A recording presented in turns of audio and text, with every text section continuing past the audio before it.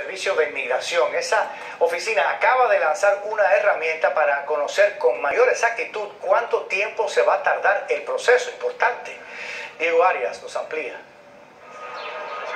Hoy es un día importante para Lisbeth Solís. Tras meses de espera, tomará su examen para hacerse ciudadana de los Estados Unidos. Yo apliqué en junio 2017, ahora estamos en marzo, son casi un año.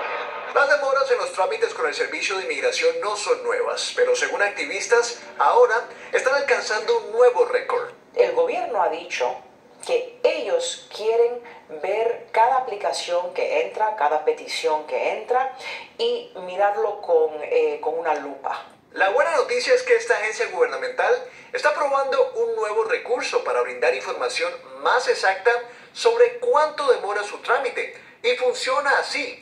Solo tiene que hacer clic en la sección de tiempos de procesamiento, poner el número de formulario y la ciudad donde usted realiza el trámite. Por ahora, este programa piloto solo funciona con los formularios N400 para hacerse ciudadano y 90 para reemplazar la tarjeta de residente permanente y 485 para pedir su residencia permanente o ajustar estado y la I-751 para pedir que eliminen las condiciones de su residencia. Este cambio es la respuesta del Servicio de Ciudadanía e Inmigración de Estados Unidos a un reporte que reveló que la entidad informaba incorrectamente a sus usuarios sobre el tiempo de espera de sus trámites. Es una ayuda, sí, pero por otro lado todavía no llega al fondo del problema con estas demoras en general. En Nueva York, Diego Arias, Noticias Telemundo.